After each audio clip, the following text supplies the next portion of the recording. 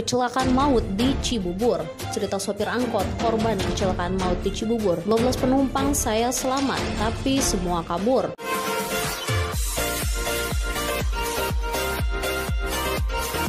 Berikut kesaksian seorang sopir angkot yang selamat dalam kecelakaan maut truk Pertamina yang menabrak sejumlah mobil dan motor di Jalan Alternatif Cibubur CBD Bekasi. Dalam musibah yang terjadi Senin 18 Juli 2022, ada 11 orang yang meninggal dunia.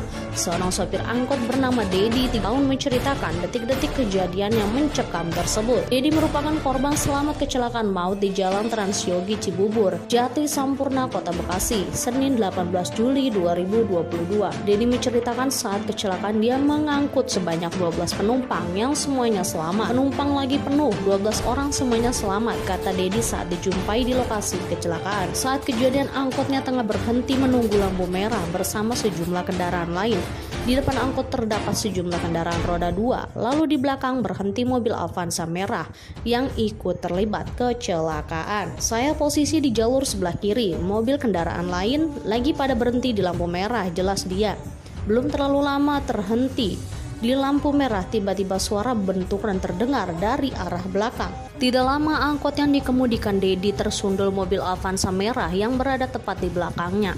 Penumpang semua pada kabur, udah nggak inget lupa bayar, tutur Bedi. Termasuk Dedi seluruh penumpangnya panik berusaha menyelamatkan diri keluar dari dalam angkot. Pada kabur semua penumpang, ada yang lompat abis itu saya minggir ke trotoar keluar dari mobil, jelas dia. Adapun kecelakaan mau terjadi akibat truk tangki Pertamina melaju dari arah Cibubur ke Cilengsi Jalan Transyogi Kota Bekasi. Tepat di lampu merah Citra Green 2 kantor jalan menurun tepat sebelum lampu merah truk tangki diduga kehilangan kendali rem blong dan menabrak sejumlah kendaraan yang sedang berhenti. Korban jiwa dalam insiden ini sementara sebanyak 10 orang dan korban luka diperkirakan 6 orang. Sedangkan kendaraan yang terlihat sebanyak belasan unit yang mayoritas sepeda motor. Dedi mengatakan dalam kecelakaan itu dirinya sempat terpental ke arah depan dari kursi supirnya. Kemudian ia pun segera turun dan mengecek apa yang baru saja sebenarnya tengah terjadi. Saya turun dan cek ke belakang, ternyata ditabrak. Itu mobil belakang saya hancur, terus banyak banget korbannya. Ada yang masih di kolong mobil truk tangki ini, ungkapnya. Saya langsung getar sekujur tubuh bang. Saya jalan ke trotoar nggak berani lihat. Terus saya duduk bengong saja di situ tuturnya. Baru habis itu ramai warga pada nolong. Saya nggak berani, tetap duduk di trotoar saja timpalnya. Denny mengatakan akibat kecelakaan ini kakinya keseleo. Kaki saya keseleo doang, bebernya. Lebih lanjut lagi, Dedi berujar bahwa penumpangnya yang berjumlah 12 orang dalam kondisi selamat. Alhamdulillah selamat semua, tapi langsung pada kabur, nggak ada yang bayar ucap Dedi. Sekadar informasi kecelakaan maut ini mengakibatkan 11 orang meninggal dunia yang kini seluruhnya telah dibawa ke Rumah Sakit Polri Kramat Jati, Jakarta Timur. Selain itu ada enam korban lainnya yang kini menjalani perawatan intensif di Rumah Sakit Mitra Keluarga.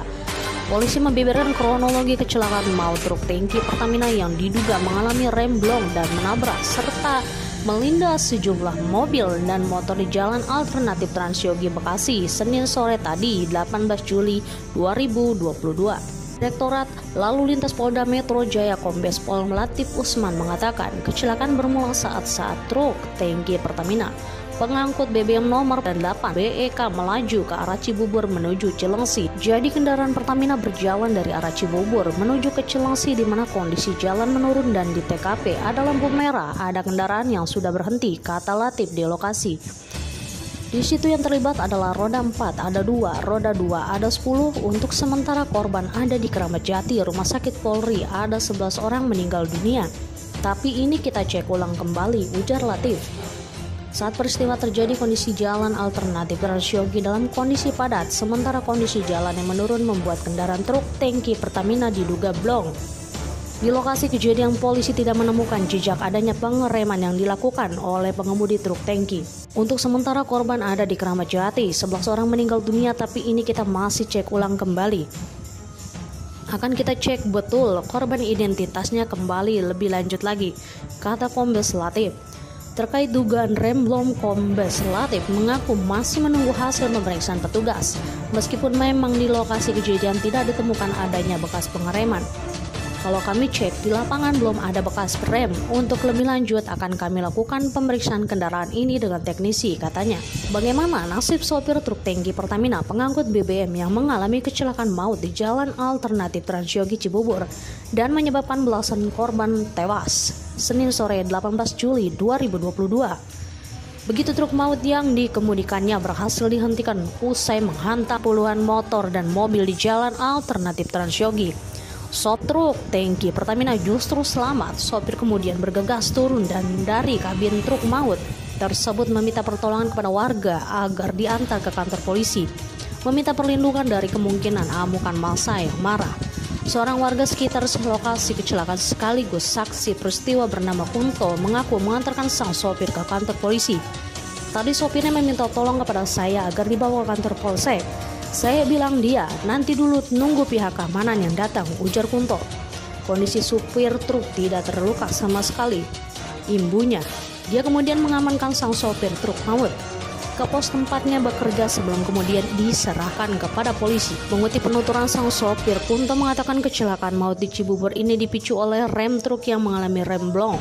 Truk yang mengalami kecelakaan tersebut adalah truk Nissan diesel remnya ngeblong dia tidak sempat. Dia tadi sempat meminta tolong dibawa ke polsek. Lanjut Kunto